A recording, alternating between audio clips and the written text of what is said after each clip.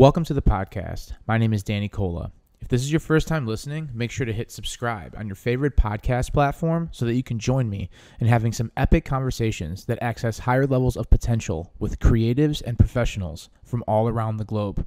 Thank you so much for tuning in. Today's guest on the podcast is Kevin Cannella. He's a psychedelic assisted psychotherapist. I randomly met Kevin in Austin, Texas, when I was out and about one day at Zilker Park with a couple of friends. It was a beautiful, sunny January day, and I just randomly turned to the person next to me. And of course, we start chatting up about consciousness and meditation and self development and healing and therapy. And it turned out that Kevin was a, a trained psychedelic assisted psychotherapist and has been doing work of the sort for the last 15 years. And it was a treat to get some of his information out because I geek over consciousness all the time and ways that we could self heal, understand reality a little bit better in our relationship with it. He had so many different types of thoughts about these topics that I decided to have a podcast with him. Here's a little bit more about Kevin. He's the executive director and co founder of Thank You Life, a psychedelic therapy nonprofit organization with a mission of providing access to all by eliminating the financial barriers to psychedelic therapy. Kevin is a MAPS trained psychedelic psychotherapist who has been using non ordinary states to help himself and others heal for 15 years. His life's work has been to help people heal from their traumas and create a life full of purpose, harmony, peace, and joy. Connect with Kevin at thankyoulife.org for more information or on Instagram at Kevin on Purpose. So without further ado, here's a conversation with Kevin Cannella. I hope you enjoy. You think this is What's your question? yeah, do you think this is am I close enough to the mic like this? Uh, I would say like try to get your face fist a distance away from the microphone. Uh, but yeah, I think you I think you're fine. I think um, let's just yeah, let's just see how it goes. All right, so Kevin Cannella, what's going on? How's everything going? What's happening, Danny? Yeah, it's been a long time. Uh things are good. Just getting into this new year and um you actually just got out of a 10-day Vipassana meditation retreat a couple days ago and just integrating with that and Yeah, uh, that's how that's one of the ways I kind of want to start out this conversation. You said that you were on a retreat for two weeks, right? From the fifth to the fourteenth. Yeah, yeah, So when I hear the word retreat, I'm like, okay, that can mean a lot of things. yeah. Um, but yeah, break it down. What did you do? How did it go? What were some of the insights you received? Uh, Mm. yeah, just start it, and and I'm I'm an open book. I I do these podcasts specifically for me because I'm super interested in stuff like this. So yeah, perfect. I want to hear about this. Yeah, and this will be an just an interesting uh, piece of when we start talking about psychedelics. Um, you know, in in some ways, I like to say that it's a it's a more drawn out psychedelic experience over 10 days. So I'll back up and, and explain a little bit of what this is. So these are Vipassana meditation retreats. Uh, it's this very particular kind of retreat uh, with this very particular teacher. His name's Goenka and there's centers all over the world that do this i think there's 60 some centers in india there's like 15 or so centers all over the us and um, then a bunch of non-center locations where there's still just people that like this and will find some sort of ymca or something and, and, and throw one of these. They're completely donation based which is wild. And there's this really beautiful lineage all the way back to the buddha. And so a lot of buddhism has this link back to uh, Gautama the Buddha. Um, and what they talk about in this lineage is that all these different lineage lineages preserved the words of the Buddha, but that the technique, uh, the actual meditation technique of Vipassana was was not actually preserved. Um, but they say in this lineage that they were able to uh, preserve the the actual technique, and so the way to get involved is to go to one of these 10 days. They have some shorter ones, but you need to start with a 10 day. And Okay. it's very intense Is this so? Is it uh with medicine or without? Because No, when you say with- without medicine. without, okay, all right, just making sure. Because you just said it was a yoga retreat or a meditation retreat, rather. Yeah. So just a meditation retreat. So, you know, very intense schedule, meditating for 10 and a half hours a day. and literally no distractions, no music, no phones, no pen and paper, no books. The word meditation is super loaded. It's one of my Mhm. pillars, but I do my own version of meditation and I use it for what I think it's you know what it like I use it because it helps me in in get getting centered. Uh, it helps me refocus myself or at least prime my brain to get myself Mhm. refocused, recentered. Um, I like doing it to just let my brain kind of go and I like to see where it where it goes in a non-judgmental manner and i feel like i can have very cathartic moments much like a, a psychedelic seminar if i'm in a good state I, I feel like wow okay this is this is interesting or there's an idea that pops up and i'm just like hmm so there's a lot of ways to do it that's my point. point and Yeah. um when you're doing 10 hour meditations like what does that look like um what's the point of doing it that long Right. um right like so why does it even Yeah. matter to do it for like that for that long let's let's unpack Yeah. that a little bit yeah, yeah. So what I'll start with is just like what the technique is. So the Okay. the first three days is what's called anapana, which is following the breath. And this particular technique is following it right at the nostrils. And so for three days, you know, anapana is more a focusing technique. So this is just to develop concentration. okay and over three days being able to more subtly uh, feel the breath feel the, the soft breath coming in and out um, and so yeah it's just this uh, technique to develop that. Then the you know on day four you learn vipassana and the next seven days is doing vipassana. It's essentially a body scan um, but a body scan with this very particular orientation which is realizing impermanence. And you know there's there's we, we can like look to the outside world and see impermanence and how everything that is born whether it's a plant an animal whatever eventually dies and see how the day becomes night and the night becomes day and it's all Yep. kind of endless and nothing you know it's all dynamic nothing's like static and um and that's all great but and, and that can be a bit of an intellectual exercise but the the point of this meditation and the the way that the insight of impermanence can free us is when we're really experiencing that. And the way we, can really experience impermanence is through the sensations on the body. And watching how each sensation that i feel arises and passes. Sometimes it you know some you know we're sitting for a lot of hours. So sometimes a lot of pain comes up and uh, that pain might stay there for some minutes an hour a, a long time uh, but eventually it passes away. It's not like now some pain in my shoulder is eternal. I mean i'm going to be gone in 70 years or whatever so it's obviously the pain is eventually going to go away. Uh, so but then other sensations you know arise and pass really quickly. And so it's all about being able to like really see that watch that in the body. And then there's this insight around it which is okay if i'm not really making these sensations appear and i can't really affect them much and they're going away on their own well then it doesn't make sense to crave some and have aversion towards others. I can actually be in this more equanimous state just observing them. And that it really doesn't make sense to hate this pain because the the pain is going to go away and me hating the pain isn't helping it go away it's just creating more suffering Yeah. for me totally all right so let's let's back up so Yeah. first three days was just the nose breathing in and out Mhm. and so that was three days you said 10 hours a day yeah yeah it's a lot Okay. And then you go from that to switching to this more of like awareness of the body and this mentality that it's perishable and Mhm. to uh, uh, observe in a non judgmental manner. So that's like the, is that the real kicker you got out of that second three day thing? uh well the, the next seven days but yeah but yeah it's Yeah, right. um and yeah they they describe it as a technique to purify the mind Okay.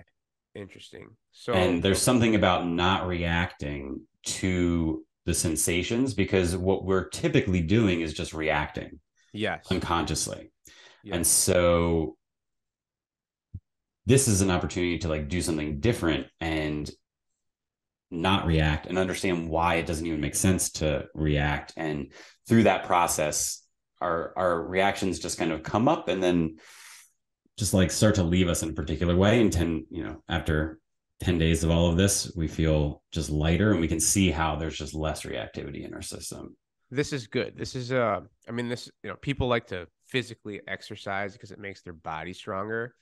But what you're talking about is brain exercise, legit brain exercise that really can do some wonders because we're mm-hmm. constantly reacting to our impulses mm-hmm. all the mm-hmm. time, more than ever now with these devices that uh, distract us like in crazy manners and like it's an addiction.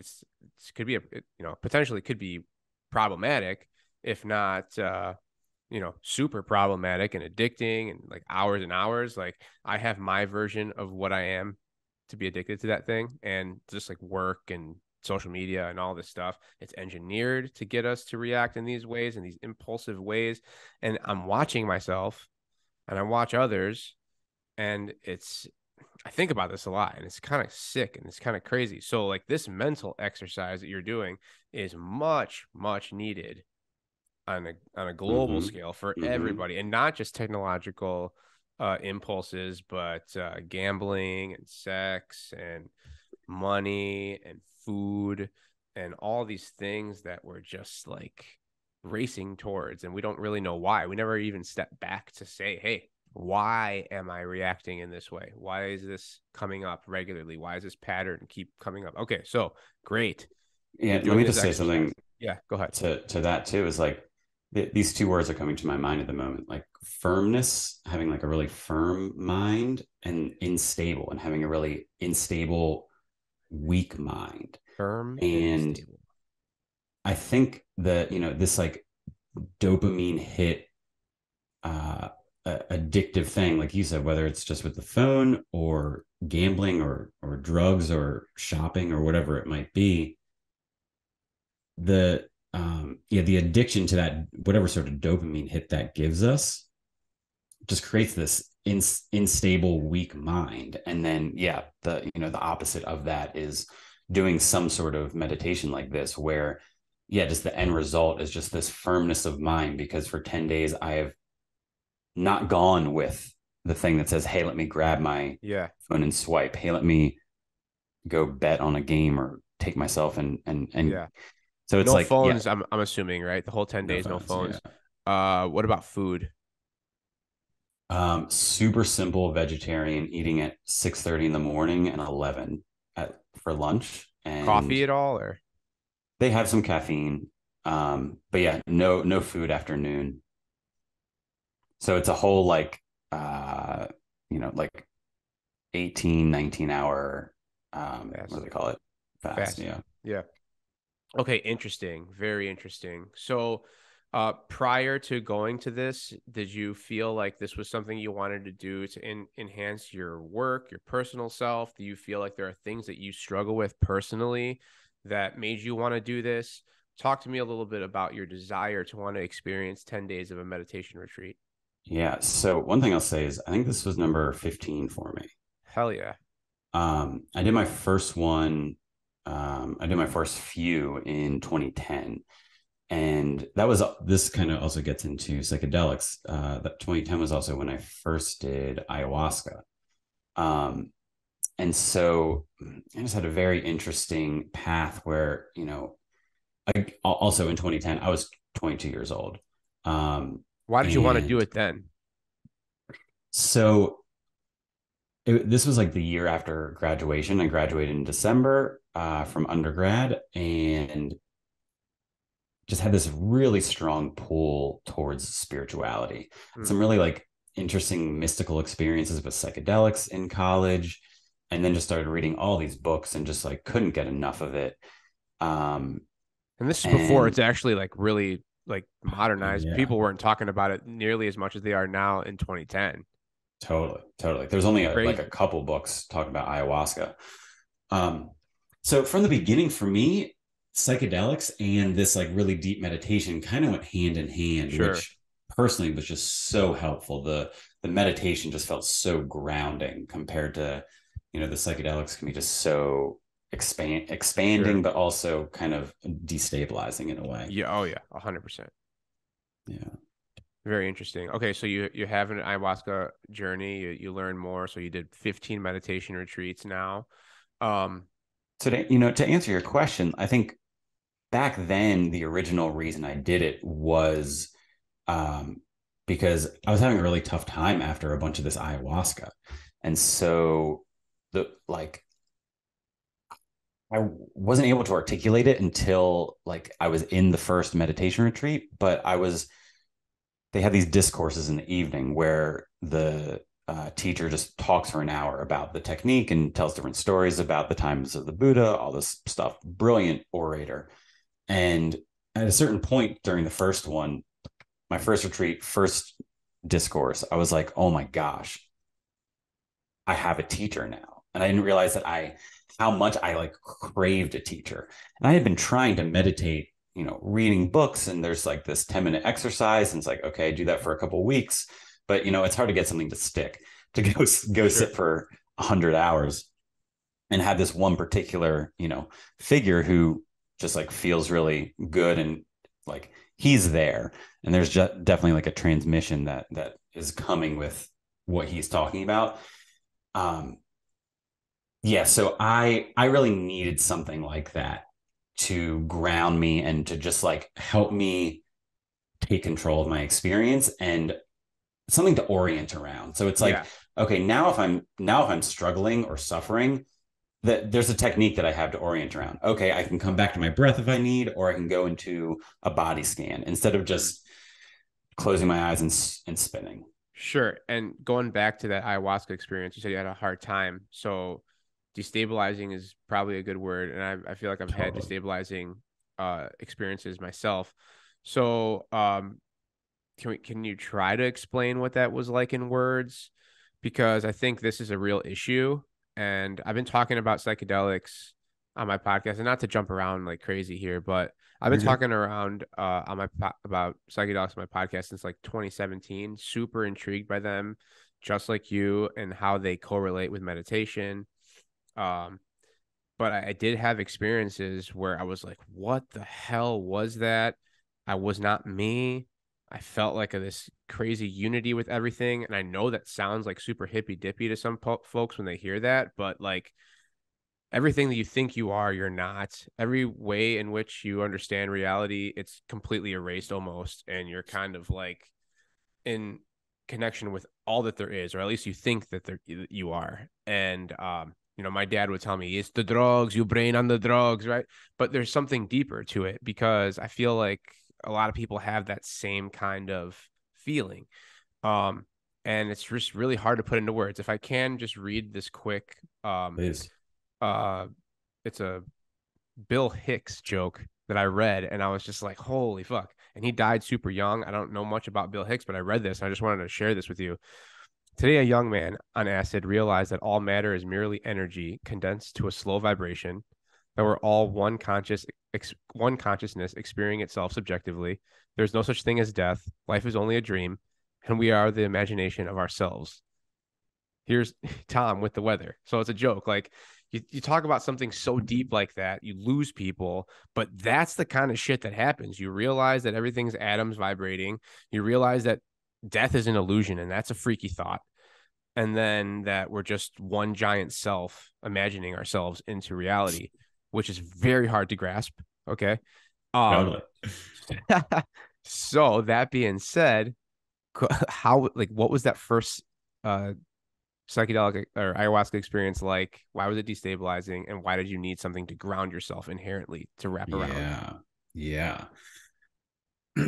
so I definitely had some of the experiences that you were talking about in college, which were more beatific i think is a word like more beautiful and more pleasurable and more that like connectiveness mm. um i had some of that on ayahuasca eventually um but not that first year so the destabilizing part for me was that was really like the context of my life which was you know for the previous um 5 years i was at a university and really knew myself. Um, really had a, a core identity. I was in a fraternity. I was having a blast being in that fraternity, doing the whole partying thing. Um, you know, I had this role as social chair, which was like meant like I was the one running the parties and just really, um, really like had a place there. And so, and then, you know, I had this, uh, all of these addictions to like sugar, this horrible standard American diet, shit ton of alcohol, and smoking pot every day. And so between all of those things and then my friends, you know, living in this house with there was 67 of us that could live in this fraternity house. And so I was constantly around people I felt so tight with, so connected to. Um, and I had a bit of a thought. I was like, okay, well, I feel like I've kind of got it. Like I I'm so happy, but I'm also surrounded by all these things. Now let me go find happiness without these things. Um, and so part of the destabilization was like, okay, now there's, you know, I'm on this clean ayahuasca diet. And I think the things that I missed the most was sugar and my friends. Um, I think the alcohol and sugar was obviously very related, but um, yeah, I had none. I, I, I literally had everything stripped from me that was, you know, that I that I was habitualized to tasting. Um, you know, getting high with friends, getting to talk and laugh and joke and just, you know, everything stripped. And so and then and then on top of that, the ayahuasca, which was um yeah, I was just going to a lot through a lot of in intense physical and psychological overwhelm and doing a lot of like writhing during the experiences, not really knowing what was going on, not really being able to handle it much. And then, um, so I was down in Peru and I was volunteering at this place called the Temple of the Way of Light. And so, um, because I was volunteering, I also wasn't being held as much by like the American um, I think one of them might have been Australian, but uh, more like uh, English speaking facilitators. And so there's these uh, lovely Shipibo indigenous shaman and shamanas, but they also, you know, and, and they were incredibly powerful in ceremony, but, um, you know, they, I, I couldn't go speak with them during the day and, and get, get any sort of support. Um, that's so crazy to me. Like these people are so connected to like the cosmic realm, but then like in normal daytime without ceremony, it's just like you can't. They're too sensitive to energy. It seems like. yeah, I mean, I don't know if I like. They barely knew Spanish, so there was like a couple, a couple lang. They were like a couple languages away for me. Um, yeah. They just knew their the Shipibo language, I believe. Um, but so that I mean, who knows if I knew their language if I'm sure I could have a more grounded conversation with yeah, them. okay. That makes sense. Um, but that wasn't available. And then the English speaking facilitators, um, you know, were also just drinking. And it was like, it was their time off and it was my time off uh, in between the retreats. And um, yeah, so they're just what, like, I, I don't know. I just basically felt pretty alone, was also 22 and just had everything stripped from me and going through these wild intense experiences. It was all just very overwhelming. And so by the time, um, see, I, I was volunteering at this place. I got there in January and January, February, March did about seven ceremonies each month. And then for April, at the time that I was going to do my ceremonies, there was a Vipassana in Lima. And so I flew to Lima and did this 10 day Vipassana for the first time. And, and that's the meditation what you the meditation retreat you just yeah. did, right? Got it. Yeah. And so this is this is the first one that I did. And so after three months of this like really intense ayahuasca, I I mean it seemed way lighter to go sit for 10 days. Sure. Uh, and again, and be given uh, a technique. So it's like, okay, after just like spinning out in hell for three months, I'm still kind of spinning out in hell, but I'm at least like have a focus, have an orientation. Okay, keep scanning the body, realize how everything's impermanent. Just having that orientation was uh was crucial for me at that at that point. Yeah. Yeah. And that's probably like some of the real bad rap that, you know, psychedelics can get with people who don't understand really like how it can be so therapeutic. You know, I mean, I don't know if I would have done it when I was 22. I still haven't done ayahuasca, but I've done other psychedelics. But I mm-hmm. I didn't start anything psychoactive until I was like 26. Like, I, I was always like super straight edge.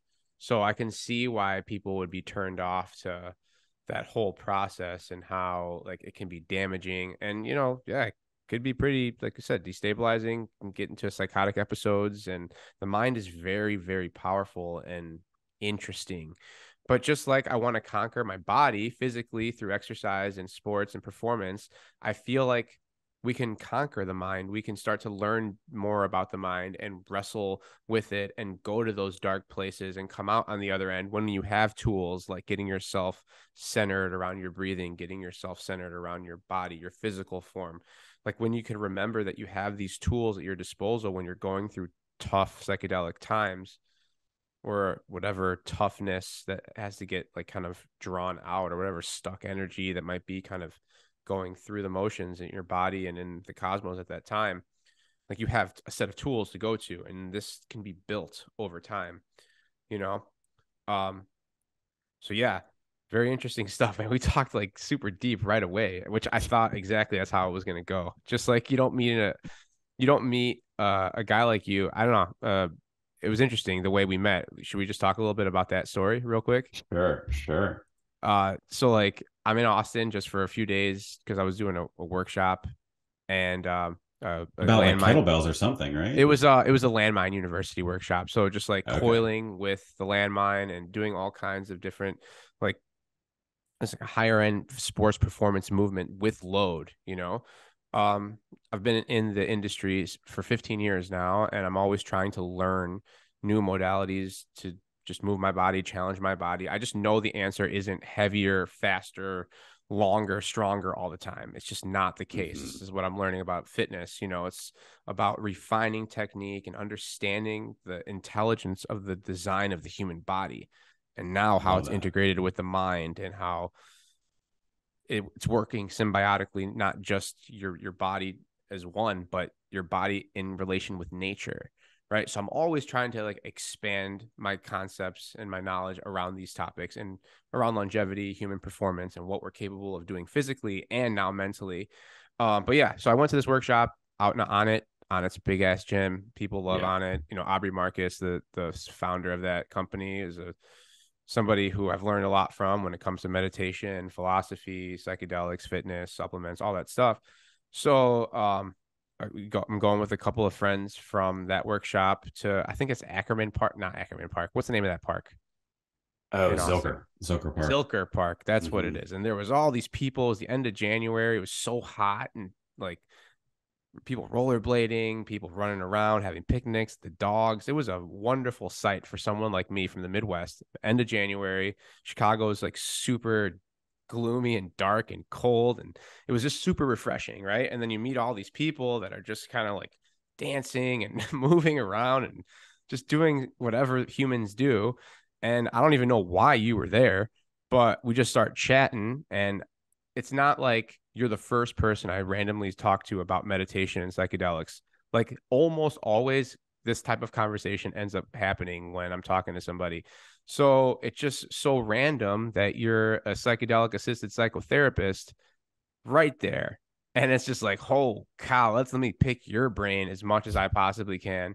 Um, so yeah, like we just were there at at Zilker Park chatting. We had been talking there for like 90 minutes at least about you know all this stuff meditation psychedelics the brain and then we you know we haven't really touched much on trauma and development of a baby and what's happening from 0 to 7 and how mm. all that entanglement can be causing some of the distress and disease that we're seeing as people kind of get older um so yeah man yeah. it was cool and you don't you don't necessarily meet people like you all the time so it was a real pleasure and i've i've had you in my head this whole year and i was like i gotta talk to this kid again on my podcast Thank you. you know? Yeah, thank you.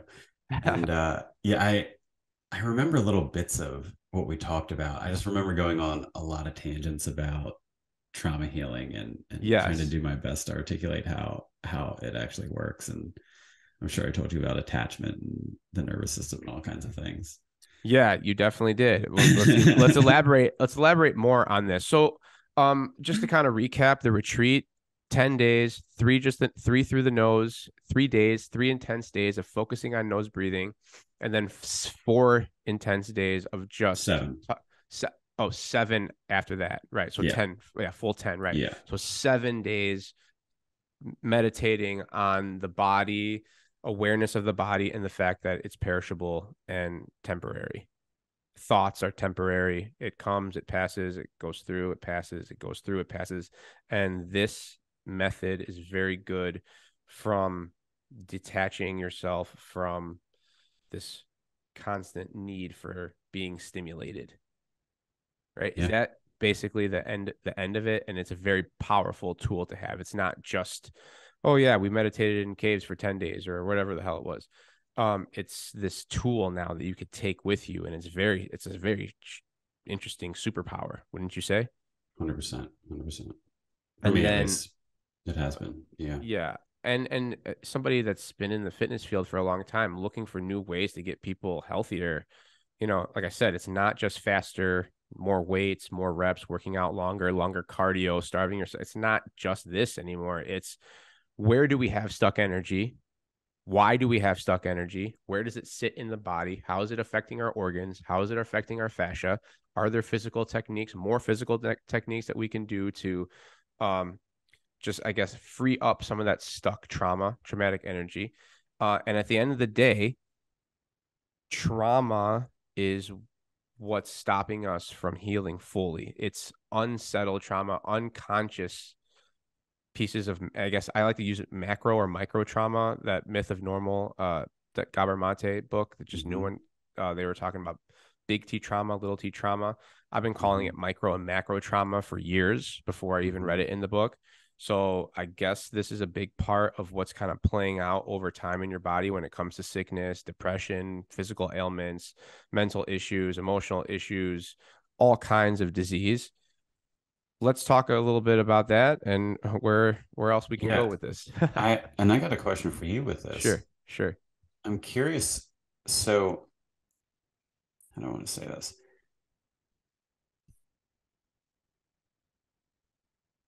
I'm curious what you see working with people more, you know, in the body and in like the workout arena mm. with like on one hand their own limitations because of how trauma stuck in their body and then also how even just what you're doing even though it might be focused on the physical how it can help people work through shit because I, I just know for myself how much um, working out has helped me work through a lot mentally yeah, I mean it's different for everybody. You know, there's infinite amount of things that can play out with somebody and like we can't know everything. Like can't know everything that they're eating. We can't know everything that they're doing outside of our workout session, you know. So I have limited information.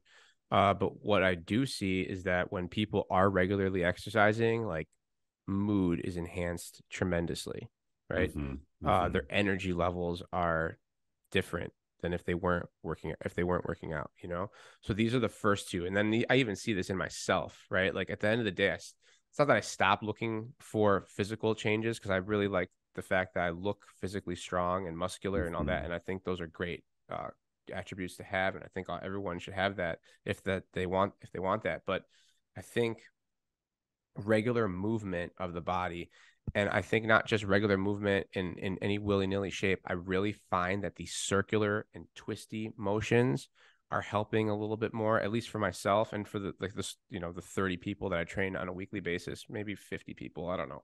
Um, I've noticed that it does help them physically. It helps them with their mobility. It helps them have uh, you know more range in their shoulders their spine their head their neck their joints specifically because we know that joints are like their own mini chakras like if there's any sort of distortion in joints then you're not getting clear messages that are coming through mm. makes sense mm. so like this is what i've kind of uncovered over my 15, 16 years in the industry as a fitness coach and teacher.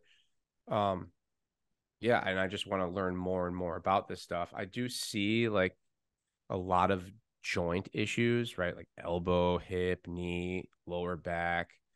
Um, you know, and then I start thinking about like gut issues. Like th- these are this is this is a piece of information that's hard for me to kind of just understand based on just talking with them. Like I, I would have to learn how to read and interpret blood charts or different types of scans. You know, like I don't know on a deeper level other than what I just kind of see on the surface. But I do know that if you're exercising regularly, you just have a you know, a clear mind, a a better mood, you have more energy, you feel like you're capable of doing all kinds of physical activity. And life is a physical task. I mean, I like to think life is one giant farmer carry, you know?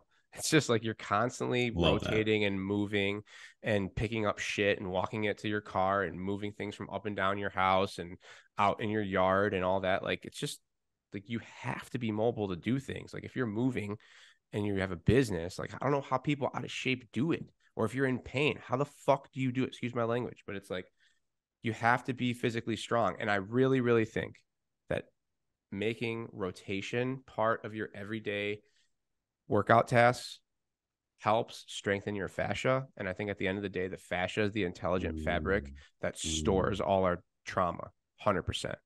And like that's tied into your organs. Certain fascial lines drive into certain organs, and we know certain emotions get stuck in certain parts of the body. So like, you know, frustration and anger get stored in the liver and the gallbladder or like how I don't know exactly where which emotion is which organ, but I do know mm-hmm. that the fascia connects to the organs, the organs connect to the fascia, and it's co- constantly communicating back and forth with the brain and throughout every single cell in your body.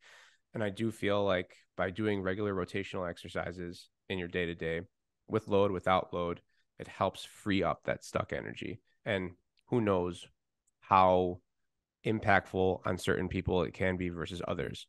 But I know for me and what I've seen in my gym, it's a positive thing. Uh, and yeah, people take it with that, you know, people take that information into account as they do on their own level because it's complex, it's kind of complex. Totally. Yeah, I had a couple thoughts about that, and yeah, specifically like with the rotation stuff, and just I imagine that opening up the body for people, and yeah, you talking about the fascia.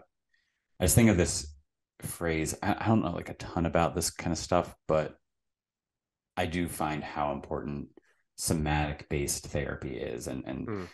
just one of the main aspects of psychedelic work is is how somatic it it it can be at least but um yeah this idea of like character armor um and like our posture and these um you know when i think of character armor it's like kind of just like how our fascia has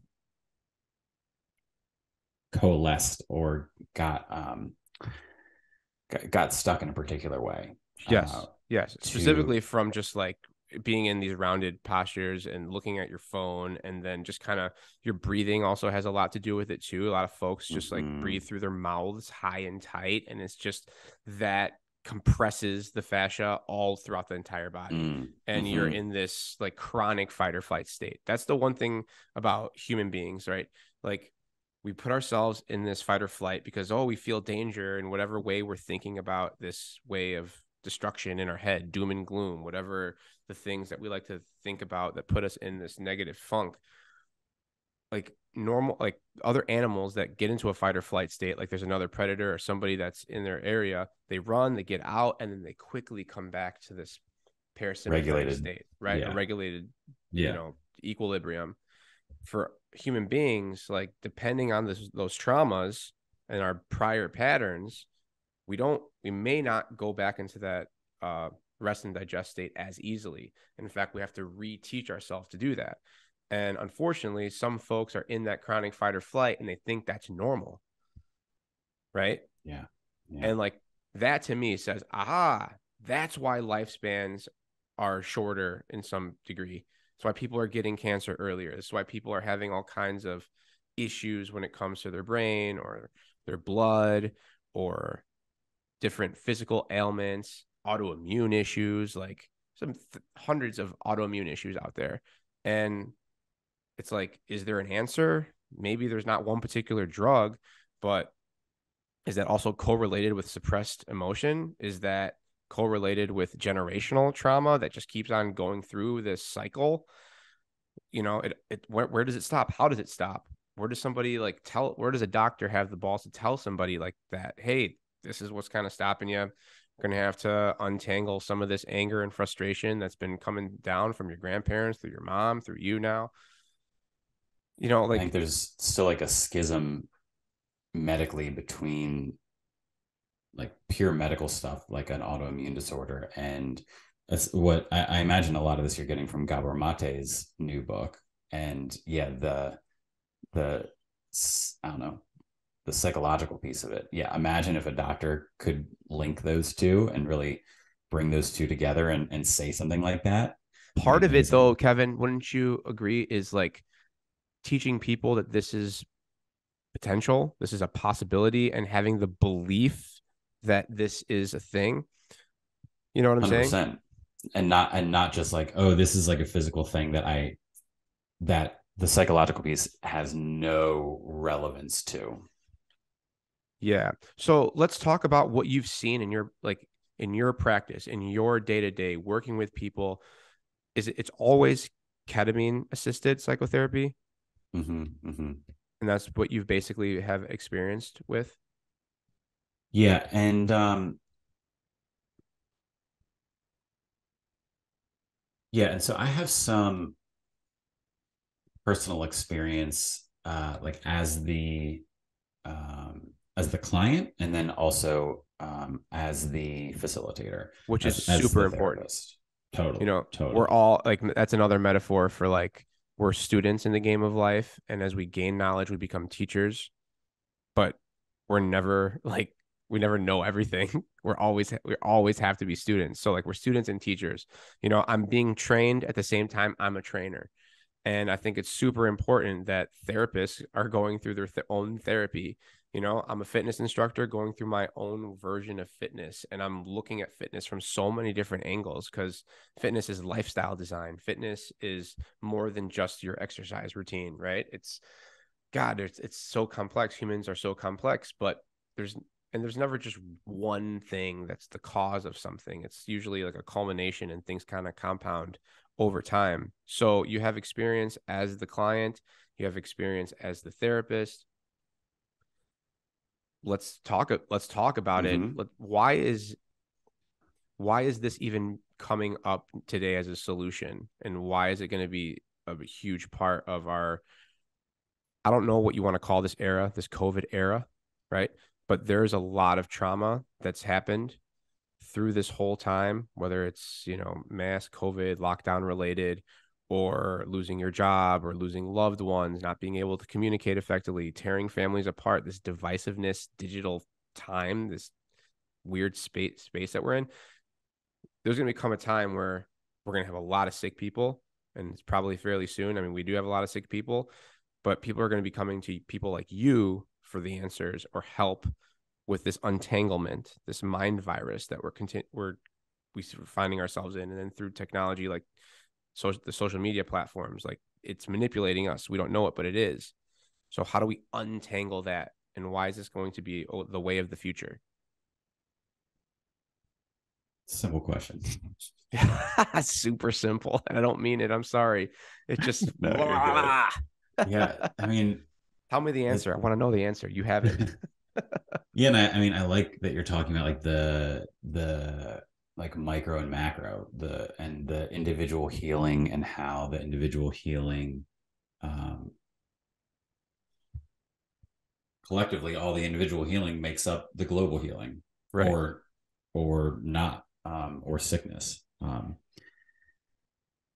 and yeah i think what you know like psychedelic therapy and just psychedelics in general and all of these healing paths whether you know someone doesn't do any psychedelics and loves the vipassana or you know there's there's many paths besides just those two even.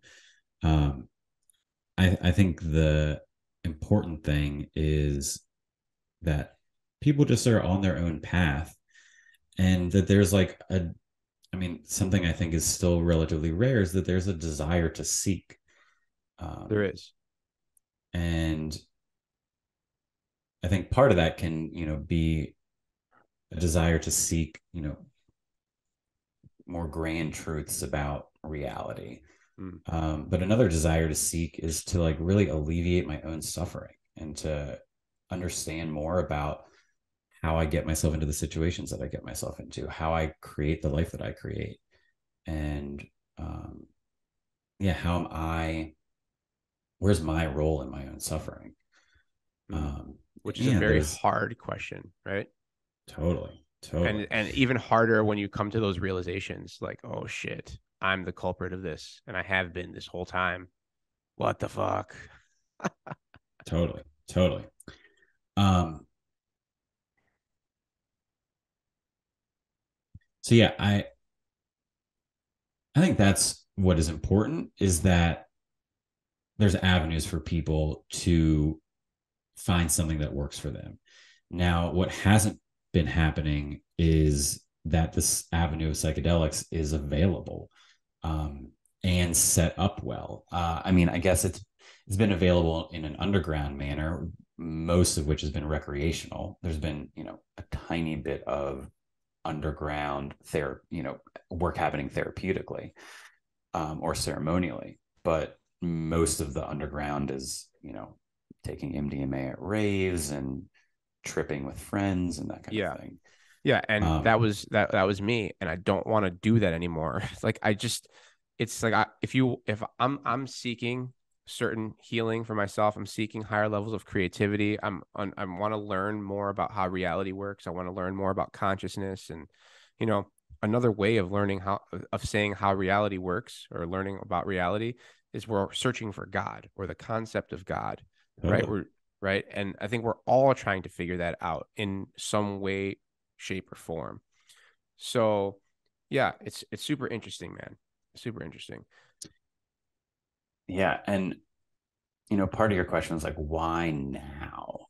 Um, I think there's just like some historical reasons for that. And to be honest, like, I just want to give a lot of credit to Rick Doblin. Um, oh, dude, that guy's a fighter. Holy cow. Yeah. I mean, he he perhaps may have single-handedly like s- saved all of this and um yeah you know he's been and if for people unfamiliar, he's the executive direct, director of MAPS, uh, the multi, Multidisciplinary Association for Psychedelic Studies. And he created it in the mid to late 80s, right as I was being born. Um, I think they started in 86, 87. I was born in 87. And um, this was right as MDMA um, was put as a Schedule One drug on the uh, you know the Controlled Substances Act. Um, and since then, he's been doing research to try to prove its efficacy that there's actually medical value in specifically with, uh, you know, uh, like s- psychological value. Yeah, PTSD specifically, depression. Yeah. Um, you know, did you know? Do you know if it passed the phase three trials? I know that's like recently or coming up, or it it just happened. Yes. So they um they just came out with a press release recently about their second phase three trials. So they did one, and there was a Nature article on the results of their first phase three trial. Think a couple years ago, might have been 2018, 2019, even.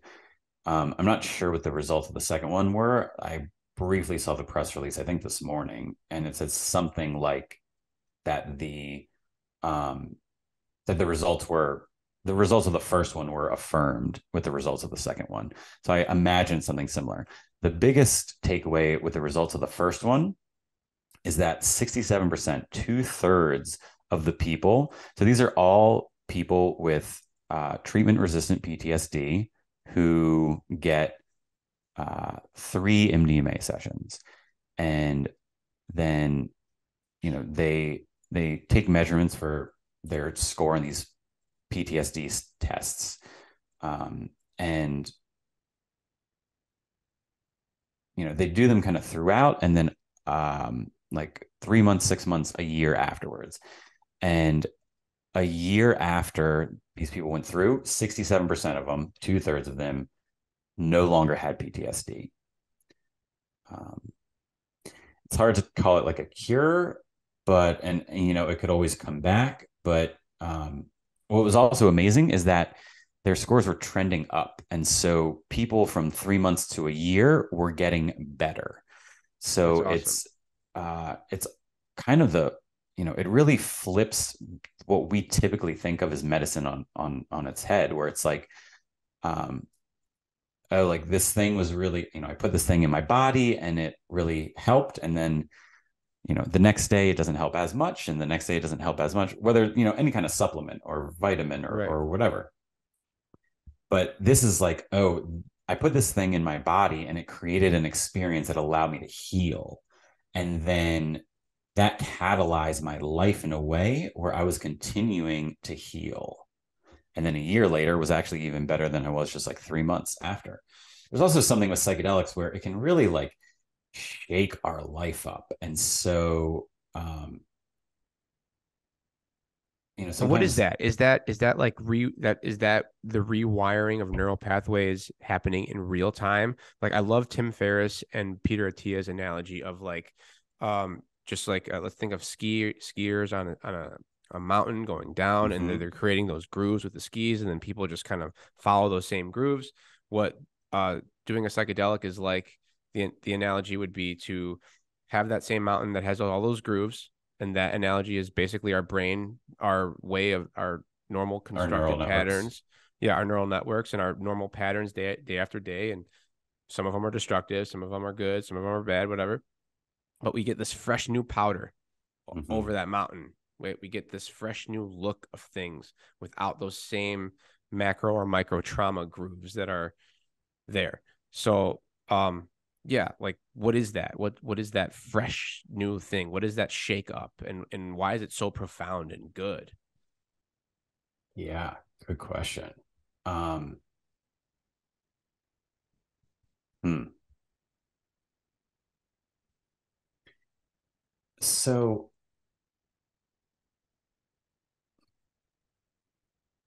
yeah.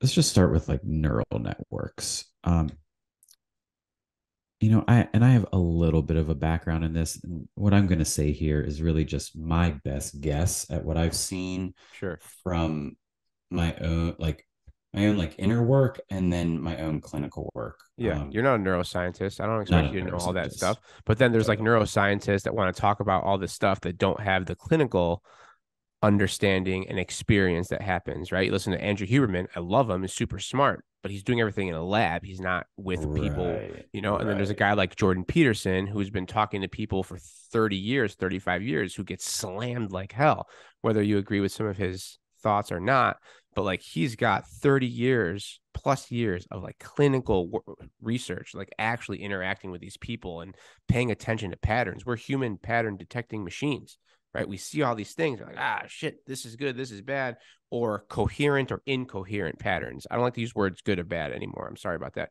but like coherent yeah. and incoherent. But anyway let's talk with neural networks. Give me your yeah so one thing I think of, and this comes from uh, something called sensorimotor psychotherapy. We talk about uh, the idea of um, these uh, what's called procedural learning. So, you know, like riding a bike is a form of procedural learning, but also right. just knowing how to um, see someone on the street that you know, and you walk up to them a certain way, you shake their hand, you know what words to say for a greeting. Mm-hmm. All that's just this encoded procedural learning. Um, you can almost think of that as a particular neural network or these particular grooves, right? It's like, mm-hmm. um, okay, I'm at the top of the ski mountain.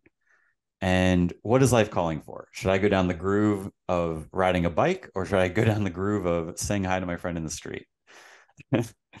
and, you know, one groove is going to have me, you know, sit and you know, whatever. You you, get it. I get so, um, so that's procedural learning, and and you know we can almost think of these different neural networks have this these different modes of procedural learning. So we start to think about. I was going to say trauma, and really whether it, we have trauma or not, we have these grooves of how we live.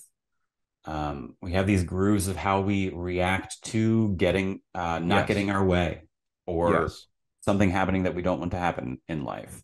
And that's I, Um, I would call that exactly a micro trauma or little little t trauma. This happens with everybody. We all have it. I don't care who you are, Mhm. how healthy you are. Something like that will pull and push you and give you a sense Mhm. of hormonal release or imbalance that make you react as opposed to respond if you're not using those tools to whatever. Okay, you get what I'm saying. Yep. Yep. All right. And um, yeah, you know, whether we get rejected dating or all these different Yes. things, right? Yes. And yeah, but then we have these uh, you know, networks of how of how to deal with that. And then uh, okay, so how did those networks get there? Um, then you I I think you're really getting into um early childhood experiences and attachment and um how we learned to deal with emotions. And so, you know, we learned how to deal with emotions by watching our parents, our caregivers. Um, and, you know, we watch how mommy or daddy responds to anger, and then we internalize that. hmm Like, oh, they have a big outburst, so I'll have a big outburst. Or, um, oh, they they get really cold and quiet, so that's how you deal with anger. Or this is how you deal with sadness. You don't talk about it. And we do Um, this unconsciously. We pay attention to patterns of mom and dad. This is happening zero to seven, and this is basically ingrained, and it becomes personality. Hundred percent. Yeah. Um, and so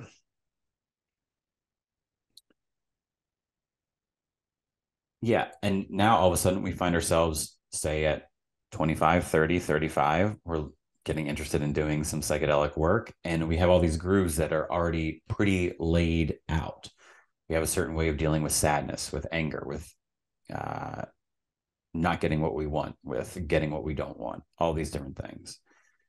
Um, so then what happens with psychedelics? So, uh, you know, it's like uh, it opens the doors of perception, we say. I think which is what's interesting is like that you, you know we we have some knowledge of the brain through neuroscience and it's still just like a lot of metaphor and analogy to, Sure, to try to articulate what the fuck is happening. Yeah. you know with some things we actually have like a, a, a mechanism. For other things it's like we know the mechanism but it's it's pretty abstract to say the doors of perception are opened. Yet we um you know i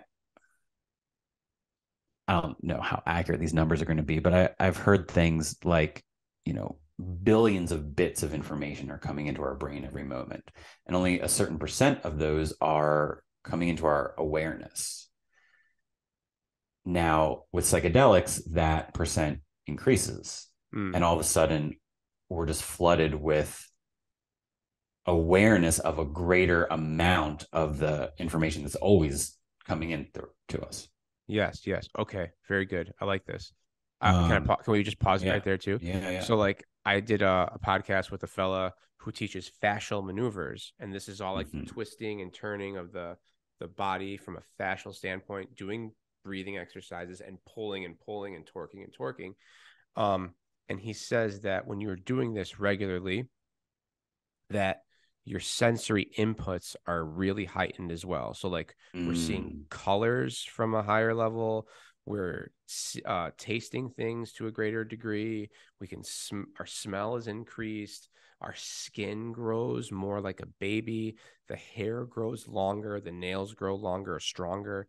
So like his claim by specifically doing these fascial maneuvers over extended period of time day after day that we can start having some of these uh, higher understandings of that input that's coming in that's always coming in but we can't technically tap into without the work to become more adapted to taking that in right? Whether that's in physical matter or the electrical impulses coming through us the in forms of ideas or thoughts or behaviors or creations. Check kevin now you yeah yeah yeah. So going back to the psychedelics they open you up. It's always coming in but we have a greater understanding to receive that information in and that's very eye-opening. It's like oh. Yeah and so that i think that's just one way to look at it. And then you know um there's such a great visual representation in michael pollan's book of the amount of neural connections happening in the brain baseline versus on psilocybin. And they draw it as two circles. And um, basically the first circle has a bunch of sparse lines uh, indicating connectivity. And then and that's the baseline. And then you see this uh, and I, I i don't know what you would google but i imagine you could find this on google if you google something about um neural neural connective neural connectivity on psychedelics on psilocybin something like this um the second circle is just tremendously filled with all this connectivity i mean just you know two, three, four hundred percent more connectivity. I'm not sure what it, you know, what the actual numbers are, but it's the the visual of it is uh just so so telling. We'll we'll clip and, this out and we'll put the visual in. Great, great. We'll try. yeah, yeah, yeah. Um, yeah, and it's in it's in How to Change Your Mind uh, by Michael Pollan. So, okay, so now we have these two things. That first thing that I said about um, we're we're more aware of more bits of information neural connectivity is like way increased and i think all of this is um is why the analogy works of there being more like fresh powder on what once was really um dialed in grooves. Got it. And so if you imagine that first image um the baseline image where there's not a lot of connectivity perhaps you could say that the only connectivity there is like the the well-worn grooves. Then all of a sudden you take psilocybin and you know 45 minutes an hour later you have all this connectivity going on. Well okay now i have more options. I don't need to just take the well-worn grooves. I can take any direction which is that's the analogy of oh now there's fresh powder and so there isn't a groove i can right. actually just manipulate anywhere. Yeah. Um so that's a bit of that. And then why that is powerful um i think that is just such a good setting the stage for healing to happen can you and, talk to me about uh, an experience you had when you started feeling that higher level of neural connectivity where your perspective starts to enhance and change. I like to also think of this as like different octaves in music. Chords are made up of different notes that really work well together. And a, you can do this with a lot of different notes in a lot of different ways. And it's like it's a more enhanced version of the one note on one chord, right? Versus four of them on a guitar fretboard strumming along all these different notes in one pattern boom it's the same note but just a different version of it so can you explain yeah. to me one of your experiences as uh, somebody who's gone through the work um, can you explain it with emotions or like a certain uh, scenario that went through your head where you had this catharsis yeah so great question Yes, and let me speak a little bit more about um, the, I guess the healing piece of yeah, it. Yeah, go and, ahead. Sorry. And then how then I'll, I'll let the story, the personal story, really display the cool. s- some aspects of the healing as best cool. as I can. Cool. Um. So. Yeah, being on a psychedelic and having you know the analogy of fresh powder on your mind um, where there's just more possibilities and it's easier to not take the well-worn groove means something different can happen and one way I think we could describe healing and trauma healing um, is that there's these missing experiences. And what we're often looking for, often the way this goes is we're we're looking for a core memory from which um, you know these beliefs about oneself were born and these very particular habit patterns were born. Um, and so well, to start to get into the story for me what this core memory that came up was was i was four years old and i was in timeout. And i really wanted my mother uh, because i was very overwhelmed in my system and very dysregulated.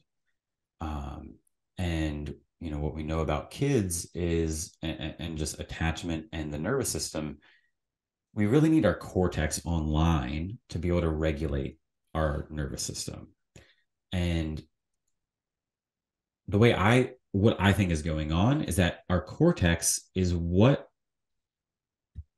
is the part of us that helps us tell ourselves how we're safe. So it's the part where there's language and narrative, and we're able to tell ourselves how and why we're safe.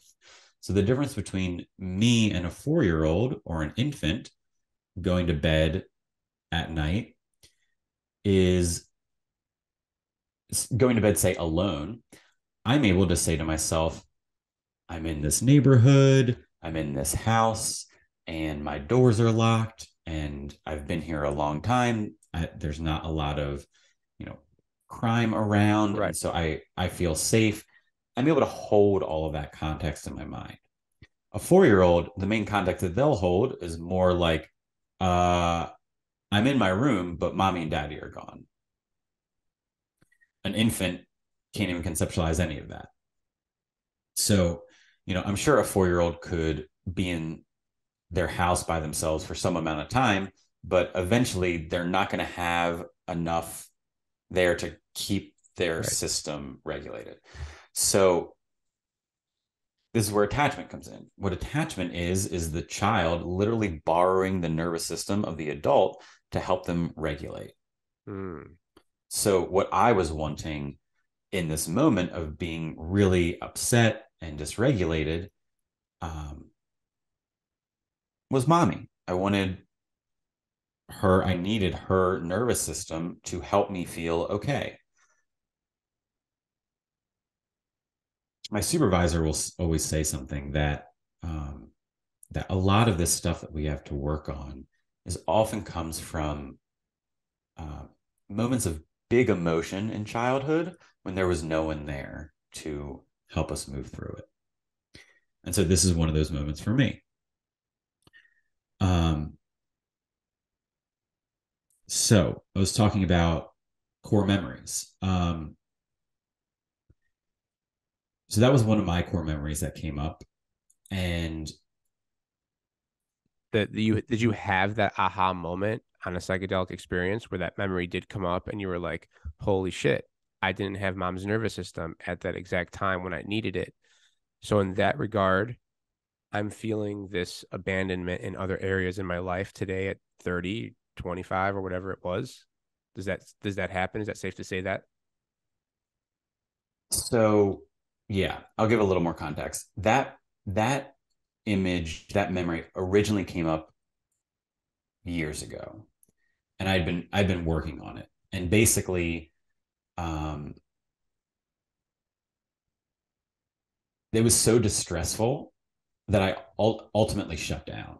So to give a little bit of context about the nervous system, there's these three general states of the nervous system. Um, I know you were talking about rest and digest. This is yeah. what's called polyvagal theory. Slight update of um, the rest and digest model. Let's do it. Give me a more so polyvagal theory. So like vagal nerve. Mm-hmm. Yep. Um, okay. Which basically has two aspects to it, and what they talk about now is that there's actually two aspects of the parasympathetic nervous system. One is this like shutdown that we go into, which is like preparing for death, and one is this more regulated where we're just really available. Um, so I would say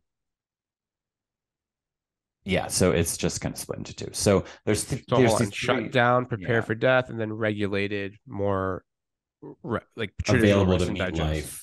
Got it. yeah. Yep. And then of course the third is the more uh, fight flight sympathetic response. Got it. Um so yeah, you know, we can we can look at our experience in this very general way and say, okay, am I feeling good and grounded and I'm really ready to meet life, more in a flow state perhaps? That's regulated.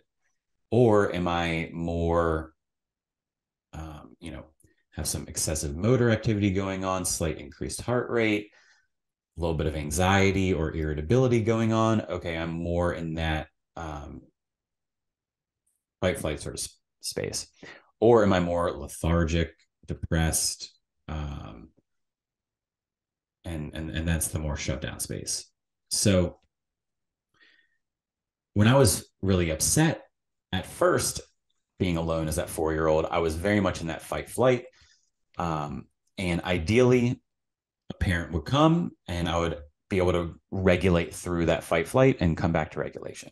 But because that didn't happen, uh, and because I was four and didn't have enough of my own cortex online to fucking breathe through that shit, um, I the only real option left for me to do was to shut down. So, what begins to get built out in me as this procedural memory is that when is like, oh, this is how I deal with um, a lot of stress. There's a lot of stress in my body. I shut down. Um, and part of that learning in there too is I feel a lot of stress in my body, and reaching out is not available. And so, because reaching, Give me Yeah. give me a pause. Hold on. yeah, yeah, I'm sorry. Oi, they've been good this whole time. All right. All right. Easy. Hey, hey. It's okay. It's okay. Guys. It's okay. It's okay. Hey, it's okay. It's okay. Maya, it's okay. Rico, it's fine. It's okay. It's okay. Okay. Okay. Okay. I'm gonna edit this. Don't worry. Okay, so your way of dealing with this, guys. That's what we're talking about. They want to borrow your nervous system to They, calm down. they definitely do. They definitely do. Um, so this is how you deal with it. You shut down. And what does that mean? Does that mean like you lose consciousness or you just like don't talk to anybody? You just go directly internal and then you start telling yourself that you're bad. Nobody wants you. Nobody need nobody wants to take care of you. yeah, stuff like that. Um, it can it can look like all that dissociation, yeah, depression, um, and in, in this way, it's like we're um, we're like freezing what's in our nervous system, uh, Mm. numbing ourselves to it. Mm. So if I regulate through something, I actually like go through that uh, that fight flight energy and and have it run through my system, and I calm back down. Ah, When I shut down, it doesn't run through my system. I more just numb myself to it as best I can, but it's still locked up in my system. ah, And so now it's like this layered thing. Instead of me just being more clear in my system, there is a stress response that got kind of coalesced. And so then the process the process of undoing that is first it needs to thaw out and we need to like but then you know we, we don't go from shutdown back to regulation we go from shutdown back to whatever got thawed out which for me was that being upset being very overwhelmed with a lot of stress in my system Hmm. um you know uh it's like a lot of ways that P- PTS this PTSD work with ketamine and, and other things looks for veterans is like you know a lot of like shaking it out and what they're shaking out um yeah again first all of that needs to thaw and then once it all falls it's this sympathetic fight flight response that needs to like get shaken out of the body that they had from war or what you know whatever they were going yeah through. um so okay so i had that image going on and then i did this uh series with my therapist um and during the first one this image came up it was an image I was familiar with. Um, and just to give like a bit of an idea of how it all worked. And so at first, you know, I I took the medicine and it was coming on for a little while. I was beginning to like feel a little uncomfortable in my body. Wasn't really sure what was going on. Um and then at a certain point, um, you, you know, this is me just like lying on the floor and my therapist sitting next to me. And you know she she was just encouraging me to associate to my experience be with my experience notice what what is happening notice what i want what wants to happen um and so the the first thing that arose was me being shut down and feeling alone and at first, I didn't even notice that that's what I was experiencing. I just noticed, oh, I'm uncomfortable in my body. Just like, I don't like being here. I don't know what's happening with this medicine. It's kind of coming on, but I don't, I'm not really feeling it. Mm-hmm. I've been there before. I know what that feels like. So, what that was a perfect, um, what do you call it? Like re, uh, reenactment of was that shutdown and feeling, feeling alone and not being able to reach out. Mm. And so what gets to happen in these, you know, in just therapy in general, but even more specifically uh, in psychedelic work, is that, yeah, there gets to be a, a recapitulation of the old memory, but something new gets to happen. And the therapist and my own adult self gets both get to play the role of parent and I get to reparent this part and this young part of me gets to have the parent that it always wanted to have back then. And so again, the first piece that comes up for me is feeling really shut down, alone, not allowed to reach, um, just kind of like feeling uncomfortable. I'm not even thinking like that I'm not allowed to reach. I'm just like, oh, I'm alone and this sucks. And this is very uncomfortable. I'm kind of like writhing around a, a little bit, feeling kind of confused. Uh, and then something, um, she does something, my therapist does something that allows me to reach out towards her and then that's the that's the first sort of shift in all of this. Then i'm still shut down but wow this is already a new experience because like a parent came while i was shut down not used to this happening. So you're so, reconstructing this as in real time basically. Yeah. Crazy. um y- yeah and again like i didn't have I wasn't able to like tell myself this story at this point. Towards the end of this session, and as I integrated in the coming days, I was able to piece this together. Um, there was definitely a moment where I was like, "Oh, uh, I'm eight." Like, yeah. So I'll, I'll get to that. But okay. at this point, I'm just like, "Oh, okay." I'm like able to reach out for her. That helps a little bit, but I'm still kind of shut down. And at this point, the the key with all this i think the big through line with all of this is associating to our experience. Associating to our experience. And how do we do that? Essentially mindfulness. Noticing our thoughts noticing our body sensations noticing our feelings just continuing to do all that continuing to associate to our experience. And so there was definitely a shift now that uh, i was able to reach out to her um, you need I'm to pause sorry. again? Yeah, yeah, give me one second. I'm so sorry. There's like these woman walking dogs right across the street from my house, and you can just see she just likes to stop right there. I don't know how far you can see. Yeah, yeah. She just stops, and then my boy was just like, "Get off my lawn!"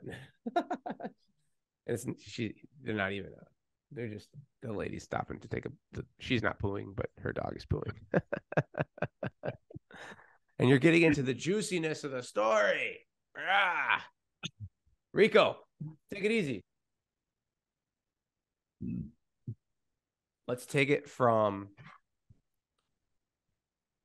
where you're she's there reaching out and you get to talk to her, but that only helps a little. Yeah. Start and I wouldn't even say, yeah. So yeah, at a certain point, I'm able to reach out to her. Um, she probably initiated it. I'm not totally sure. And I, I mostly mean like physically reach out. Um, so there's different levels, but there there can be a decent amount of touch involved, and obviously yeah. that's a thing that really needs to be um, yeah. carefully constructed.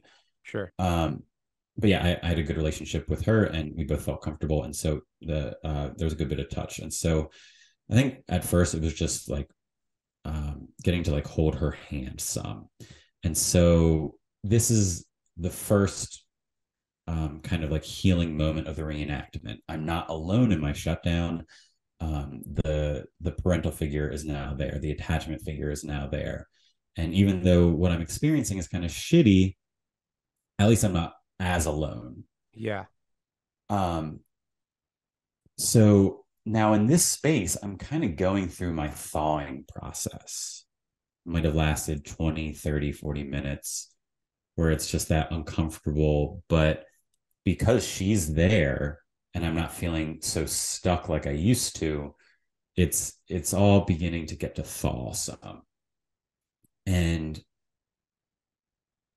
eventually she just kept encouraging me to express myself somatically in my body. And what it turned into was me like really essentially getting to have a temper tantrum hmm. that that four that that distressed four year old wanted to have. So I kept talking about how dysregulated and overwhelmed and stressed that four year old was. If he could have chose anything to happen, it would have been for his mother to hold him, why he just got to like shake shake out and essentially have a temper tantrum and just like scream and move how he needed to move to just move that energy out of his body. That's what he really wanted. But he wasn't able to do that himself. He didn't have the foresight to be like, you know what I need? I need to just shake this shit out. he couldn't do that himself. He really needed the mother there to facilitate sure. that, to encourage him to move how he needed to. So slowly that was able to happen with my therapist.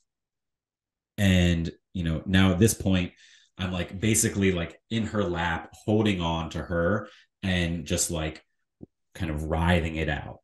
And she's just loving me and supporting me and encouraging me. Very important. Encouraging me to express, mm. encouraging me to express whatever's there. Again isn't a lot of words, some sounds, some moaning, some like, you know, feet stomping, some writhing in my body.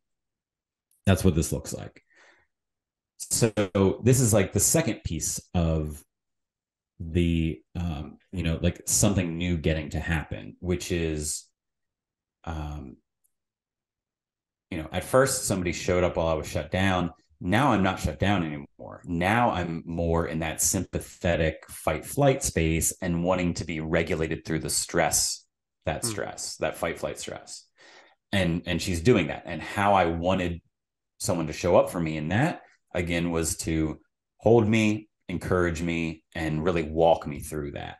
Um, where what I was used to was expressing and and being told no and to stop, and that's ultimately why I was put in timeout to begin with, because I was stressed out but expressed it. And so I guess that's a part that I kind of missed uh, articulating here is that's also something that I learned from that experience was I'm not allowed to express mm. the stress that I feel. When I when I express the stress that I feel, I'm put in timeout because I might hit my sister or you know uh, like I, I have no tact in in expressing it, or I'm just making a scene or whatever, and I'm told no bad by my parents or sent to timeout, and this whole construction forms of how oh and this is me learning oh this is how i deal with stress. This is how i deal with that stress and overwhelm. Not allowed to express so i shut down. And so now this is all healing. I'm getting a new blueprint a new model of what's okay i'm getting a new um yeah like a new path to walk down.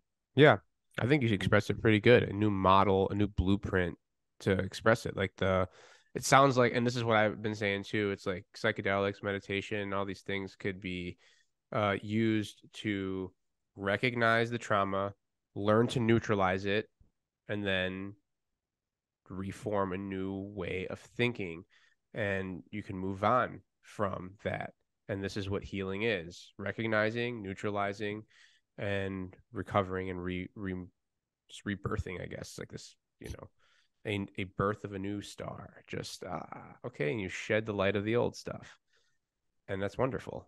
You said it. You said it great. Thank you. Yeah, yeah. So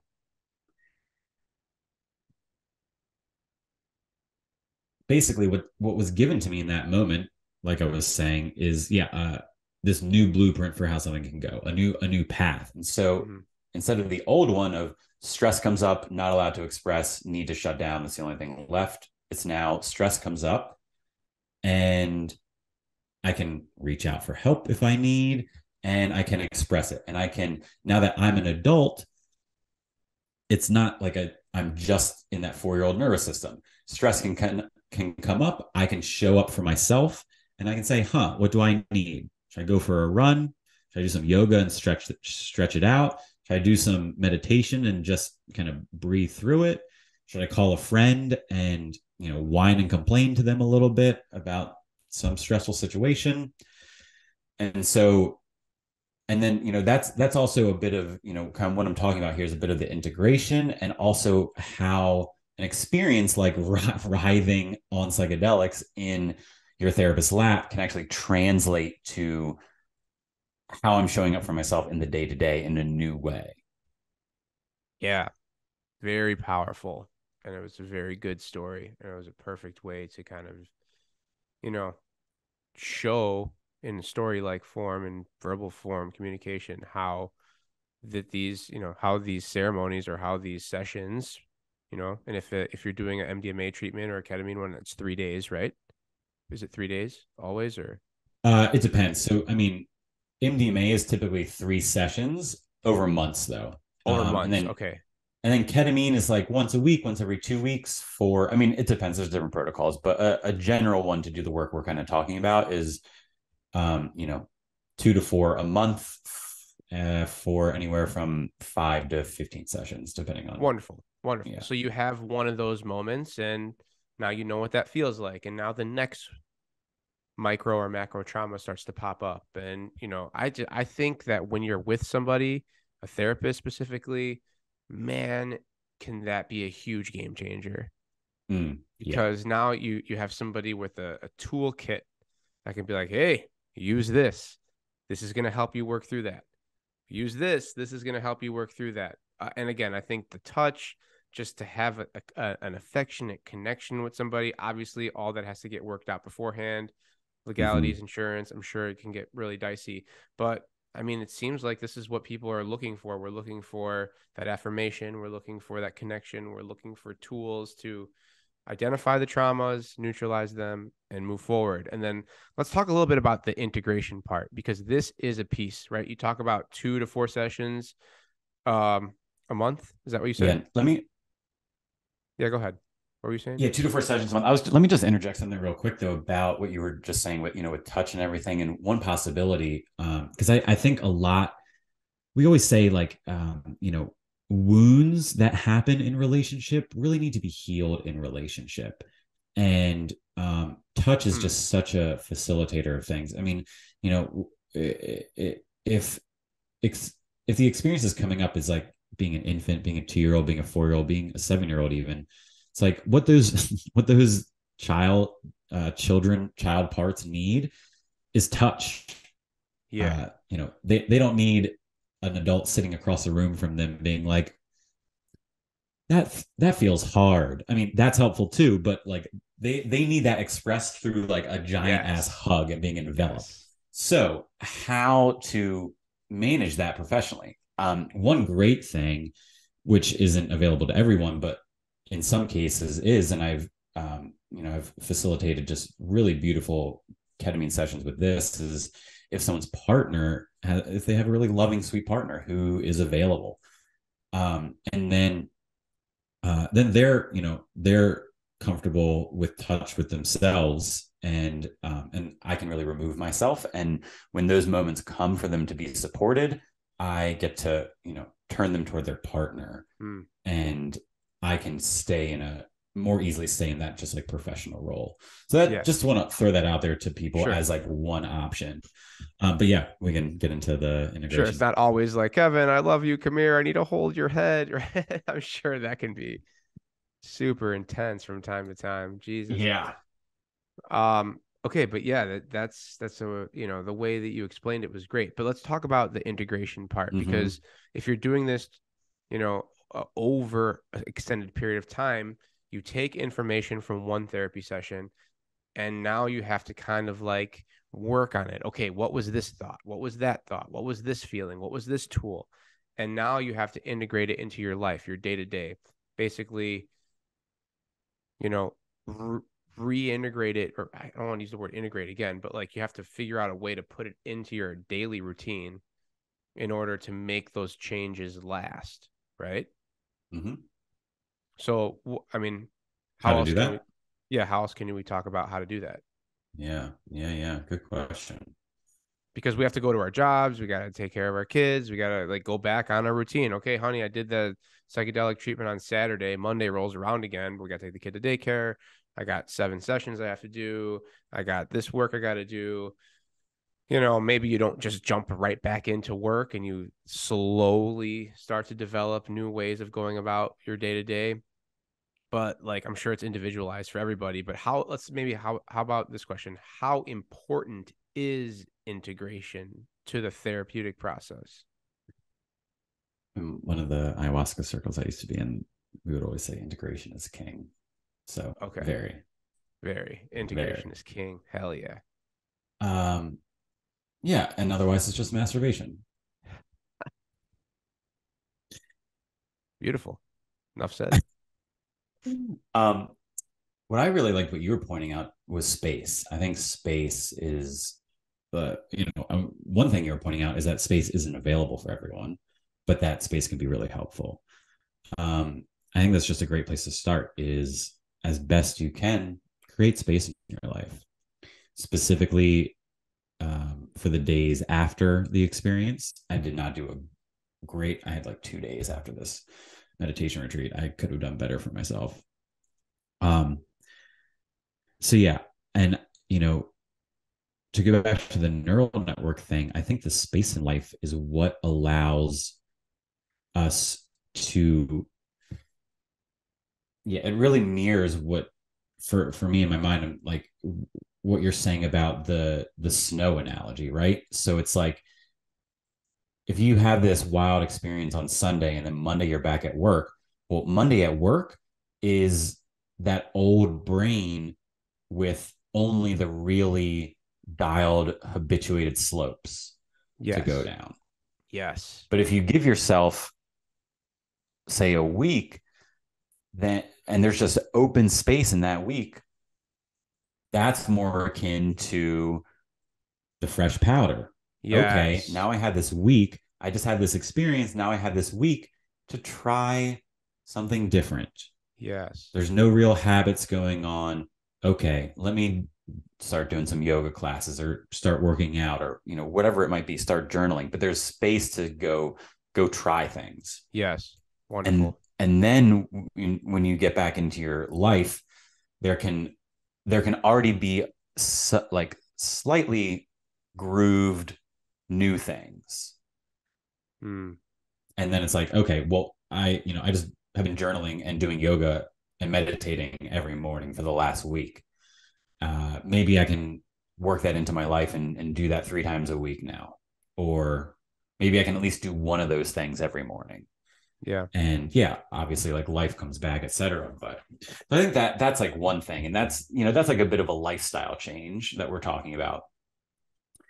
Um, I think that's another thing is just that there's such a wide variety of what integration can look like from I think um I know there's people gotten a little bit of trouble with the consciousness medicine book. Um, really, I think does a great job of laying out integration and the different types of integration. Who wrote it? Um, Francois, and her last name starts with a B. And it's called Consciousness Medicine Book. Uh, it's called Consciousness Medicine. Yeah. Oh, conscious is medicine.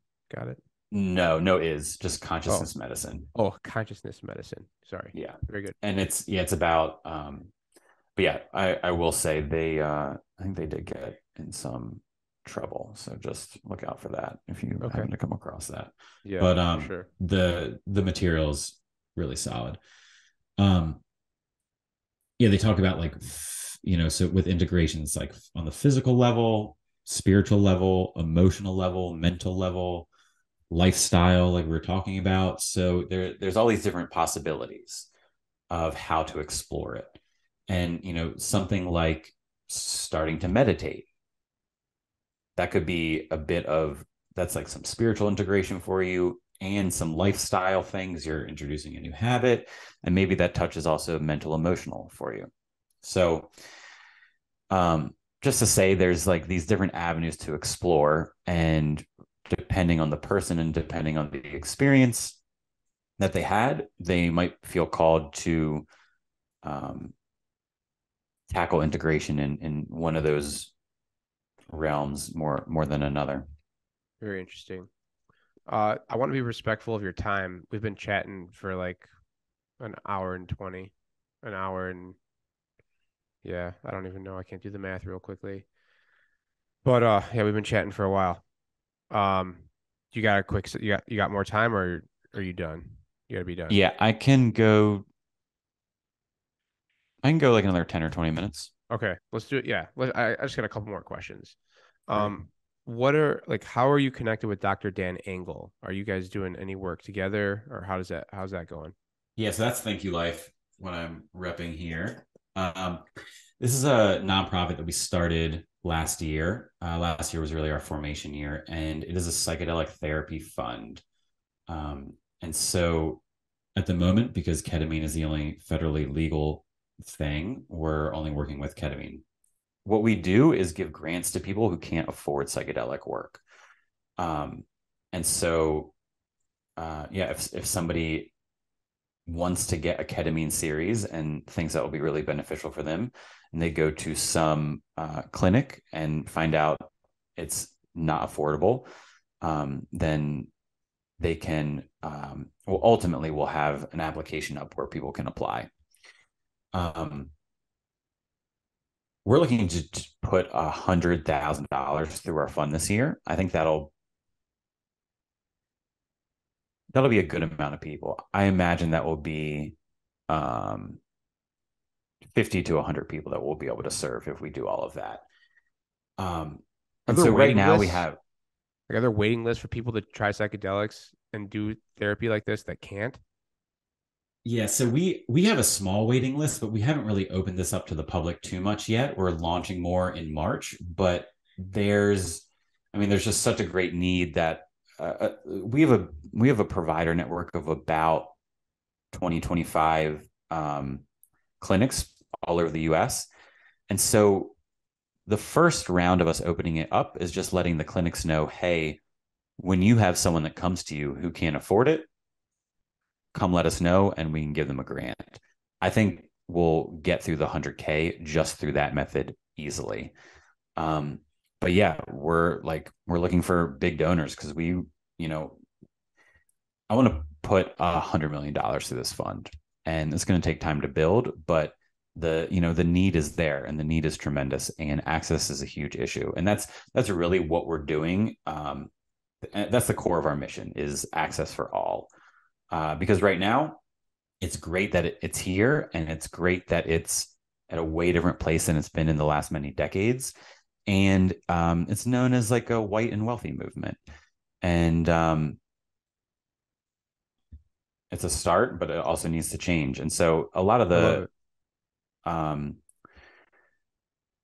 the specific like uh, populations that we're going to focus on is people of color, the LGBT community, and also veterans.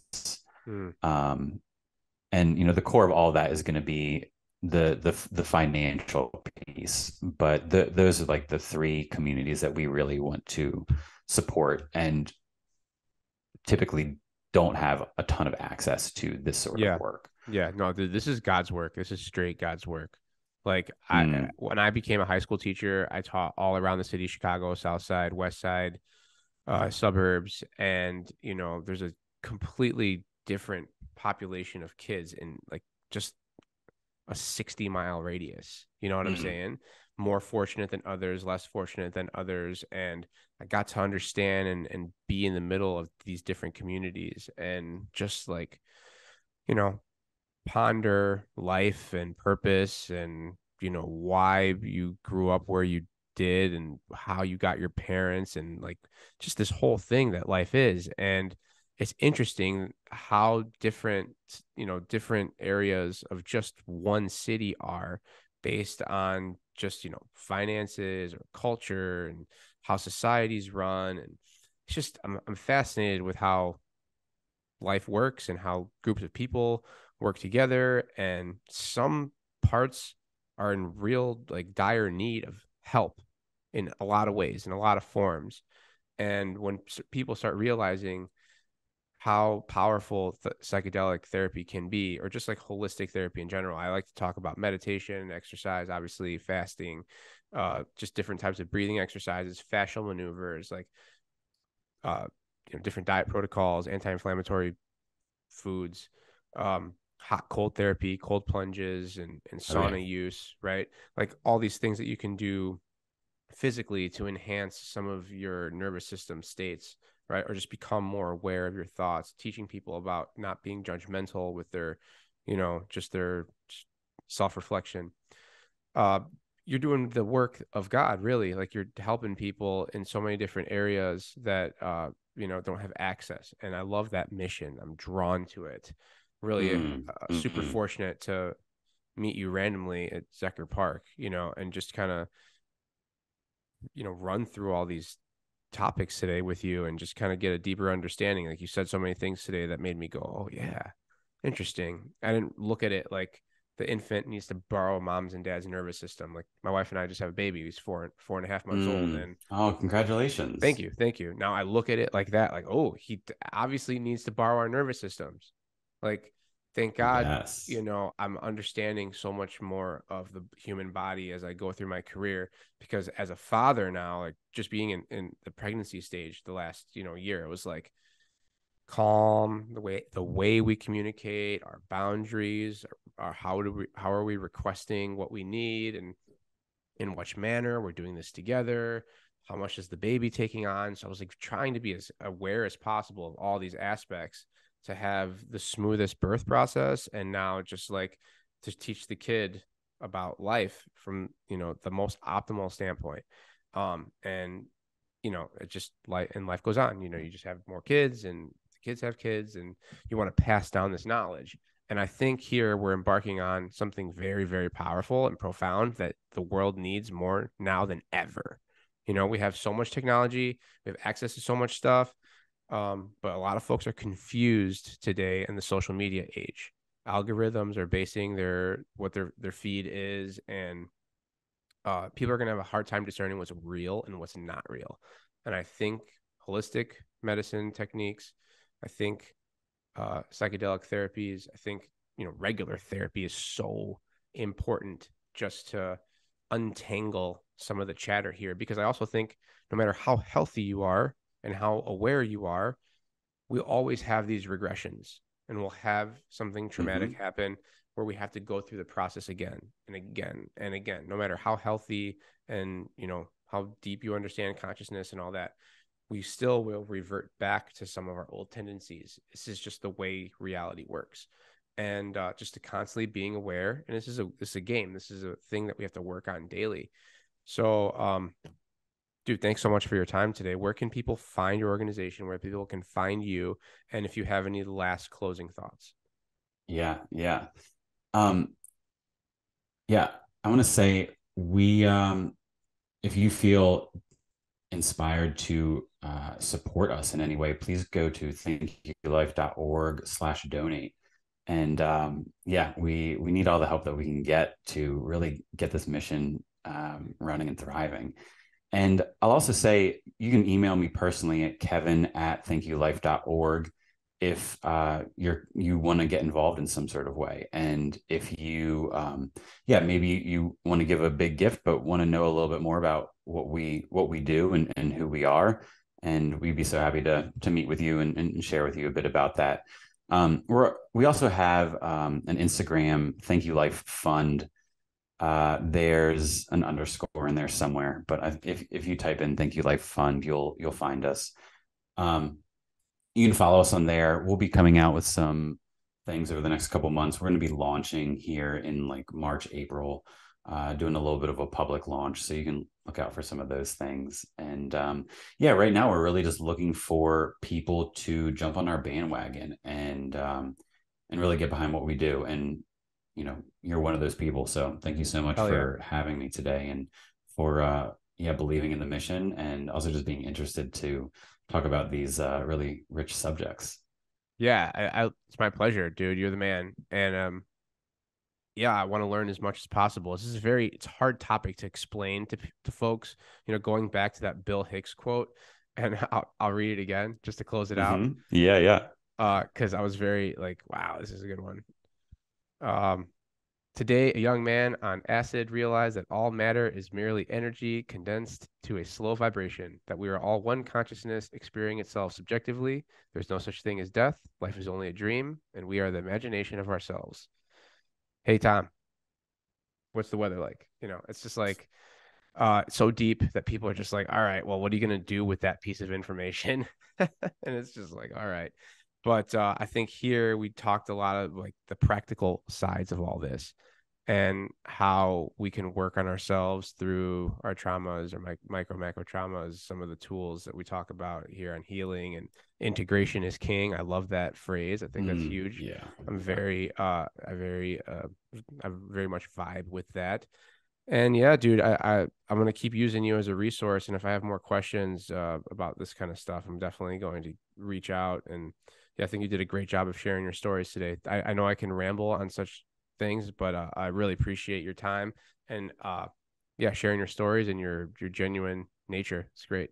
Mm, yeah, thank you so much. This was a blast. And um, dude, come down to Austin again soon. Dude, hell yeah, it's, on my list. You know, for sure. All right, brother. I don't know how easy that will be with a kid, but you know, we're trying to find ways to travel. We took him to Miami last uh last month and that was fun, but when you're on a trip with a baby, it's not really like a trip for you. It's like everything has to be attendant to the baby. We're just not going to bars. We went down to Miami South Beach and we went to one bar, but like at 12, you know, 1 p.m. we had some lunch, we had a drink and then walking around, you know. So, but yeah, it's it's definitely on my list of things to do. I, I have a long time to live here and I have a lot of things that I want to do, and uh, there's a lot of people that I want to meet and see, and really just mysteries I want to unlock about consciousness and uh, how we can self actualize and self heal. I, I, really believe, and my gym's mission is that we are self healing organisms, and mm. um, we're trying to optimally connect to our physical, our mental, our emotional, and our spiritual. Uh, and we're doing that through fitness, and we're doing that through holistic protocols, really. Um, and I think this is just another avenue of diving deeper into the landscape that is consciousness and uh, other ways that we can self heal. So thanks again, Kevin. You're the freaking man. Have a wonderful day and God bless you. You're doing God's work. Mm, thanks, brother. Take care.